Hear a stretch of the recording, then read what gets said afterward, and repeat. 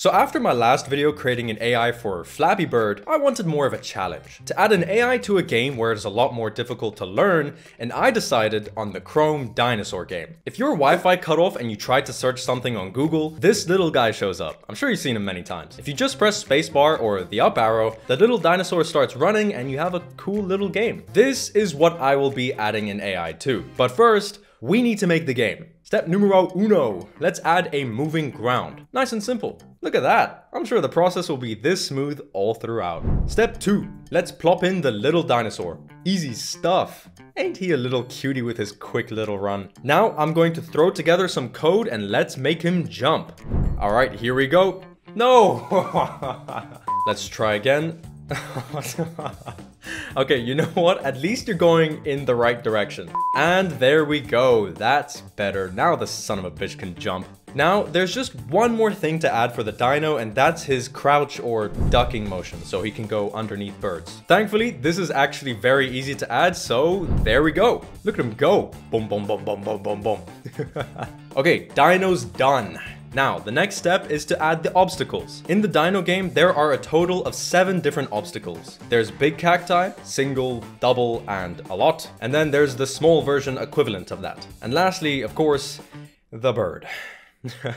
so I'm gonna quickly just shine all this in, except for the bird for now, because fuck them birds, bro.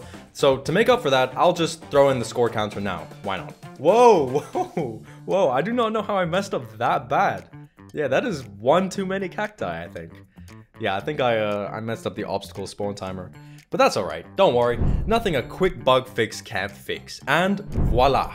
Would you look at that? A perfect Chrome Dinosaur game. Of course, there's no collision detection of birds yet, but at least it looks like the game now. So of course, now let's code up the collision detection and I'll even add a little visualization so you can see how that works. So if you look here, you can see red boxes around the dino and all the obstacles. This is what's called bounding box collision detection, and it is actually the most commonly used form of collision detection because of how simple it is. Basically, if the boxes overlap, then that is a collision detected and the dino will die. So right here, this tiny little overlap is what killed the dino. I don't know, I, I find it pretty cool. But you know what definitely is cool? The next step, adding the AI. But wait, wait, wait, you didn't add the birds. Yeah, I did. I just don't want to give them extra screen time. Screw those birds, you'll see them later anyways. The AI I'm going to add is called NEAT. The way NEAT works is it mimics genetic evolution like real life. A population of 500 dinosaurs will be created and they will each be given a brain that will be very stupid at first, but over time, after making the right decisions, such as jumping over obstacles or ducking underneath birds, it will evolve to continue doing those things and pass their genetics down to the next generation of dinosaurs who will hopefully be better than the last. This is the same AI I used in my last video for Flappy Bird and it worked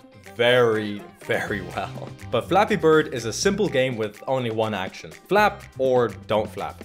Not really much else to it. But with this game, there are a lot more factors to take in and more actions for the dinos to take. Which means the dino is definitely going to struggle for a little bit. But to be honest, that makes it more interesting. So these will be all the inputs to the dino's brain. And these will be all the outputs. Now, I cannot be bothered to explain all the inputs, but I mean like, you know, like, you get it. So with that explained, I got to work adding in the AI, and let's sit back, relax, for the most part, and watch the dinos learn.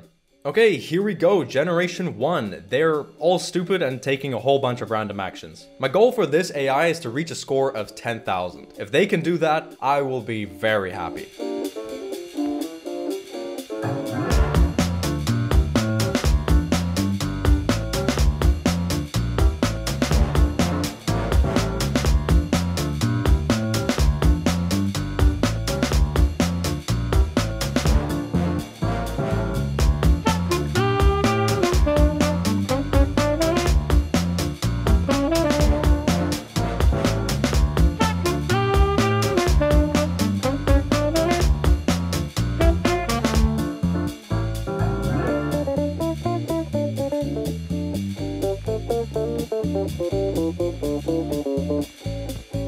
Look at that. On generation 27, the brain just evolved a ton. Yeah, now at this point, you'll start to see the dinos getting pretty decent and actually learn how to jump. Also, if you're wondering why they are constantly ducking and not running normally, well, because when writing this AI, birds were such a damn pain in the ass the dinos were just not learning how to duck underneath.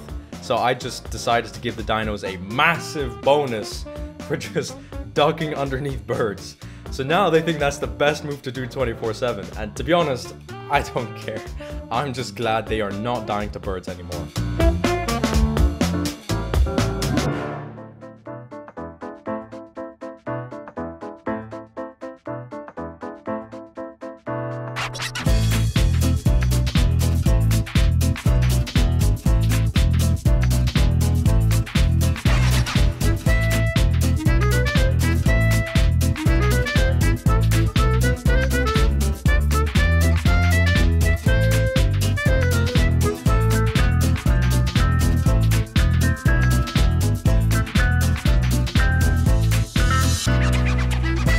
At this! Generation 39 and the dinos have pretty much perfected their jumps.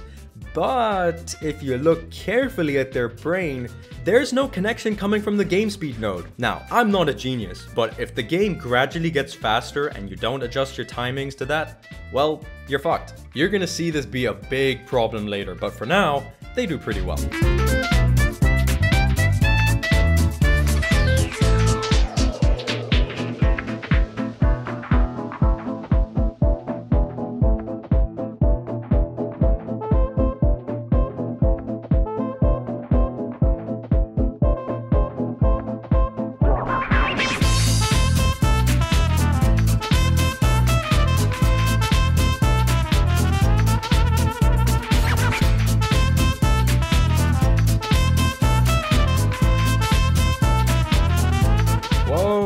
Like this one's flying past Generation 39's record. It's doing surprisingly well considering it's not adjusted to the game speed fully yet.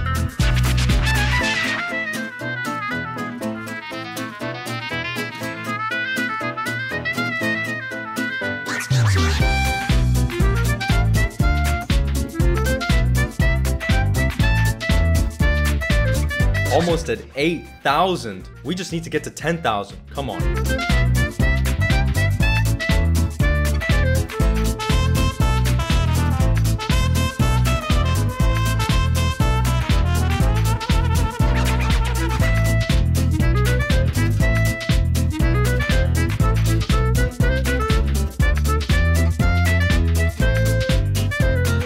No! No! Man, what? This stupid dinosaur. Still, no connection to game speed. Ugh. Let's see when they eventually learn it.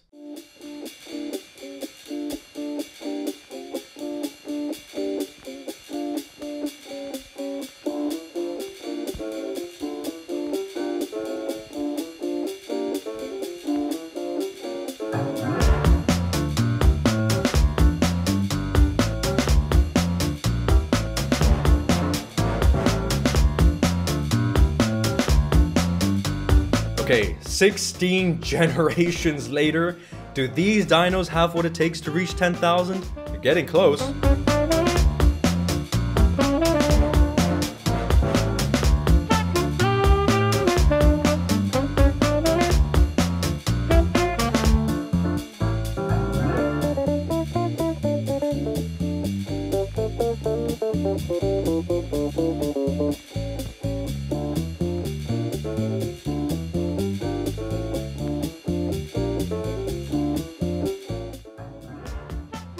Ten thousand, baby! yes, that's what I'm talking about. All right, let's see how much further they could go, I guess.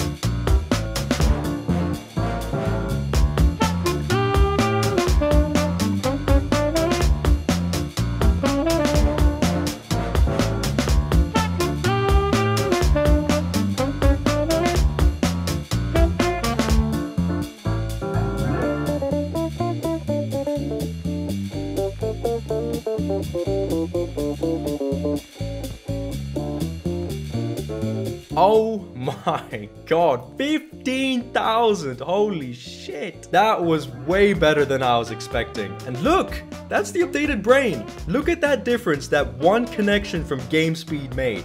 That was incredible. This AI was a little bit of a nightmare to code this time around, but it feels good to see it finally work. If you want to see more of this, you can check out my Flappy Bird video right here, and or I will see you in the next video.